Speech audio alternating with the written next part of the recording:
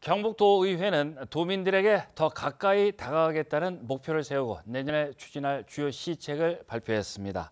주요 시책은 도의원들이 일선 시군을 방문해 의견을 수렴하는 현장 소통 대의를 강화하고 교섭단체 구성과 운영에 관한 조례안을 제정해 일정 수 이상 정당 소속 의원들이 효율적으로 의정 활동을 수행할 수 있게 됐습니다. 또 내년 3.1운동 100주년을 맞아 독도에서 도의회 본회의를 개회하고 청소 년 의회 교실을 대폭 확대할 예정입니다.